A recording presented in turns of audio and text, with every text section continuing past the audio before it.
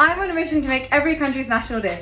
Today's day 23 of 195 and we're doing Oman. And we're making shuwa. Slow cooked lamb is one of my favourite things ever. This one's heavily coated in spice and served with a saffron rice. I got this recipe from at Dine with Dina who taught me how to make this delicious shuwa. Shuwa is an Omani slow cooked spice meat dish traditionally eaten on the second or third day of Eid. In Oman, a whole village will cook it in a huge piping hot hole in the ground known as a tanur and wrap the meat up in banana leaves and a date palm sack. And then we leave it to cook and do its thing for 24 to 48 hours. It's become the national dish because of its ancient cooking technique and because it's so damn good. Usually we use goat but sometimes you'll find beef and even camel. On Eid, the whole family come together to eat this with saffron spiced rice, and then you dig straight into this incredibly tender meat with your hands. This is my ideal Sunday roast. The blend of spices is so fragrant, and I love the flavour of the dried lime. If you want meat as tender as this, then you've got to try out this recipe.